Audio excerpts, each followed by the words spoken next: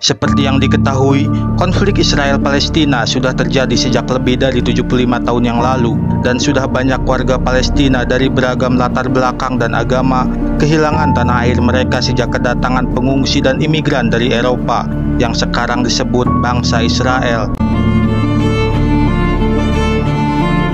Salah satu orang yang menjadi korban dari kedatangan orang Eropa itu adalah George Habas yang kelak menjadi pemimpin dari gerakan perlawanan Palestina. Pada tahun 1925, Habas lahir di kota Lida atau Al-Lud, Palestina, yang saat itu berstatus daerah mandat Britania untuk Palestina. Ia berasal dari keluarga penganut Kristen Ortodoks Yunani dan ayahnya adalah pemilik toko di kota setempat. Ia bersekolah di Universitas Beirut yang mengajarkannya tentang bahaya-bahaya Zionisme dan bagaimana masyarakat Arab harus bersatu untuk melawannya. Namun, kehidupan normal Habas kemudian berubah total ketika pada 1948 Israel mengumumkan kemerdekaannya dan militer Israel dengan cepat menduduki wilayah-wilayah setempat termasuk kota Lida. Keluarga Habas dan lebih dari 50.000 penduduk kota Lida mengungsi dari wilayah itu. Mereka berjalan sejauh 10 mil untuk mencapai wilayah aman yang dikuasai oleh pasukan Arab di mana banyak pengungsi Palestina meninggal di perjalanan karena kelelahan. Beberapa pakar, termasuk sejarawan Israel, Ilan Pape, menggolongkan apa yang terjadi di kota Lida sebagai pembersihan etnis. Tragedi pengusiran yang terjadi di wilayah itu kemudian disebut dengan pawai kematian Lida.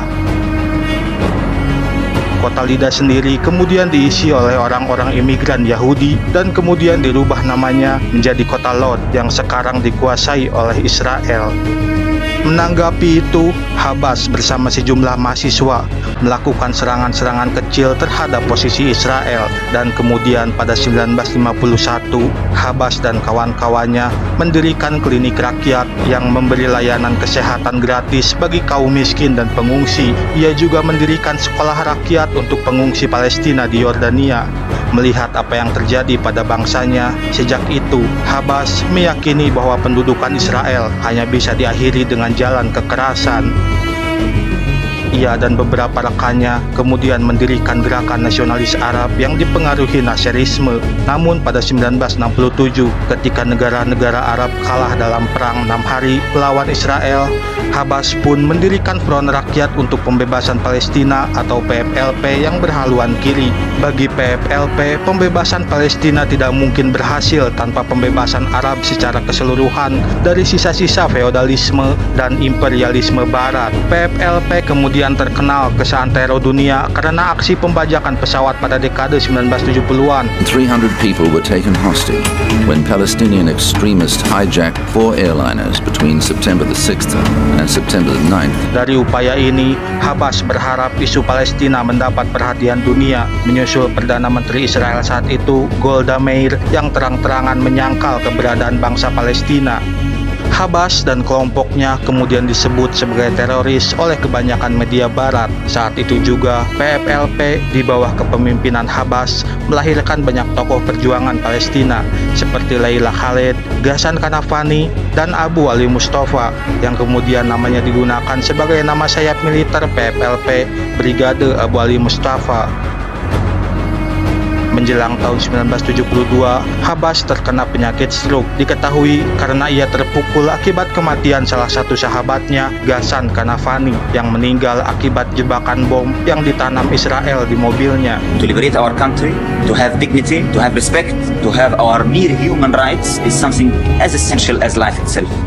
Dua tahun kemudian, tepatnya 1974, ketika Yasser Arafat dan PLO mengajukan proposal solusi dua negara, Habas membentuk Rejectionist Front dan menolaknya mentah-mentah. Ia juga membekukan keanggotaan PFLP di PLO, sembari menyerukan pengorbanan terhadap setiap jengkal tanah Palestina. Tidak hanya itu, ia juga mengecam perjanjian Oslo tahun 1993. George Habas bersama faksi Hamas dan kelompok lainnya membentuk Blok 10 untuk menolak perjanjian Oslo Oslo.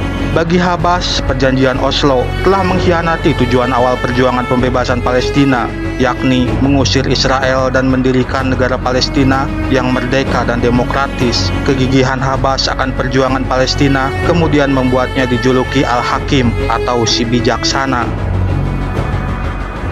Dan hari-hari terakhir kehidupan Habas selepas pensiun akibat masalah kesehatan yang memburuk. Habas menolak dana pensiun bulanan lebih dari 300 US dollar dari sumbangan sekumpulan orang kaya Palestina. George Habas menghembuskan nafas terakhirnya pada 26 Januari 2008. Rakyat Palestina berkabung atas kepergian sang Al-Hakim. Presiden Palestina Mahmud Abbas mengumumkan masa berkabung nasional selama tiga hari. Ia menyebut Abbas sebagai pemimpin historis dan dari pihak Hamas, Ismail Haniyeh juga menambahkan Abbas telah menyerahkan hidupnya untuk rakyat Palestina. Tidak lupa, kelompok jihad Islam Palestina mengekspresikan kesedihan mereka atas kehilangan simbol besar rakyat Palestina dan bangsa Arab.